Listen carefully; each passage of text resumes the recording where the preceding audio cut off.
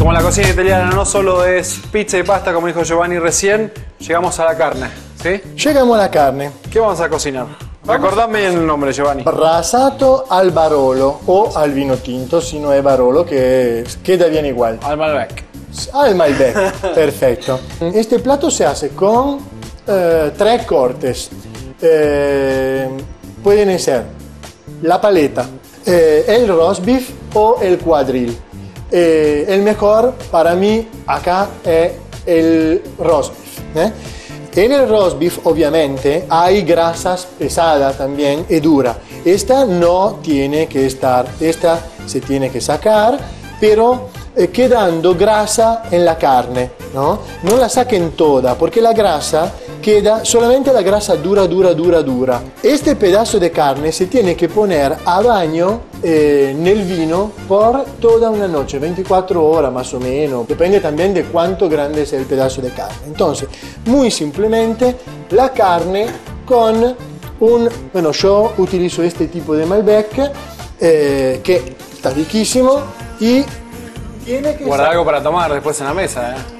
Viste che un chilo di carne más o menos, un, Un chilo, litro, un litro de vino, un chilo, una botella de vino, ¿no? Tiene que estar a baño nel vino, bien cubierta. Esto tiene que estar 24 horas. ¿La maceración esta se la damos en la heladera o afuera? No, afuera de la heladera con un fil por el, por el polvo y nada más. Pasada las 24 horas de maceración de la carne nel, nel vino, se prepara una base de aceite extra virgen de oliva, se pone en la cacerola abundante. ¿no? La cacerola tiene que ser al fondo llena de aceite. ¿m? Pues porque lo que es importante después es la salsa que acompaña la carne. ¿m? Nel- nel, nella base di aceite extravirgen di oliva si pone cebolla cortada finita y apio cortado finito y una, una zanahoria chica, depende de cuánto es grande, una hoja de laurel, un poco de ajo, no eh, necesariamente cortado finito, así, eh, salvia y romero. Y romero fresco tenemos. Estos son los sabores más típicos de Italia. ¿eh? Esto obviamente se pone sobre el gas, se dora y cuando termina de dorar, cuando está bien dorado, se pone adentro el pedazo de carne macerado en el vino toda la noche. Se pone después adentro así, se dora la carne, ¿no? Eh, poniéndole sal y pimienta sobre todos los lados, abundante, ¿no? y cuando es bien dorada la carne, se versa todo el vino de la noche. Se pone la tapa y eh, se calienta por, se, se cocina por 4 5 horas, depende también de cuánto es grande el corte. Bueno, Giovanni, te agradezco mucho la... que nos hayas explicado con todos los secretos, porque viste que a los cocineros no les gusta mucho contar secretos. ¿eh? Bueno, son secretos de Pulcinella por un italiano, ¿eh? Ahí está. Gracias por contarnos los secretos de esto y vamos a llevar esto a la mesa y yo vuelvo a cocinar el postre con Caro. Perfecto. Vale, ¿y después ¿Sí? Te sí, no, también Vamos, porque vamos. quiero comerlo, ¿eh? Bueno. Vamos. claro, vamos. Bueno, Carolina, llegamos al postre. ¿eh? ¿Y estamos con qué postre? Bueno, lo que vamos a hacer es la Y contame de dónde es la torta. Exactamente, la torta 900. Bueno, ¿de qué se compone esta torta? Tenemos un bizcocho de chocolate que lleva huevos, como cualquier bizcocho, azúcar, cacao, fécula de maíz, harina y esencia de vainilla. ¿Qué ingredientes además del bizcochuelo?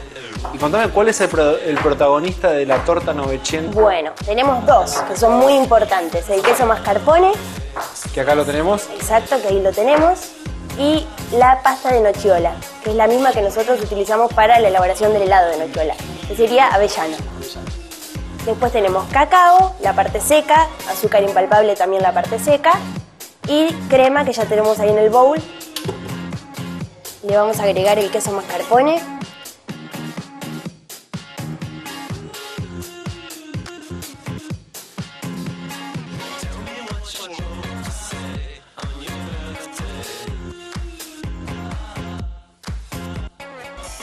Y cuando veo que ya tengo un poco integrado eso,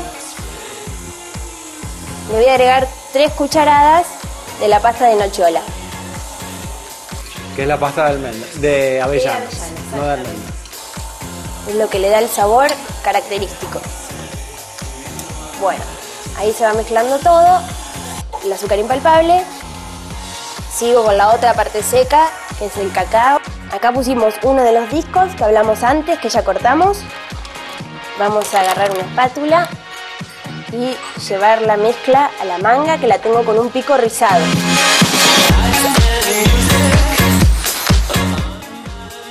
Y ponemos el otro disco.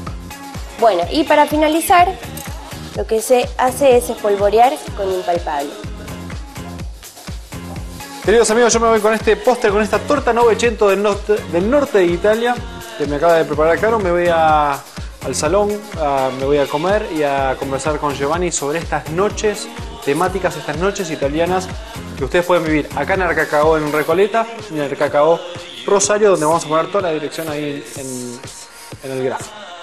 Caro, mil gracias. ¿eh? Bueno, muchas gracias a ustedes. Gracias. Ustedes no se vayan porque los caminos de Vidal Busi continúan acá en Magazine con mucho más secretos sobre el buen beber, el buen comer, sobre la buena cocina italiana, acá desde Arcacao. Adelante.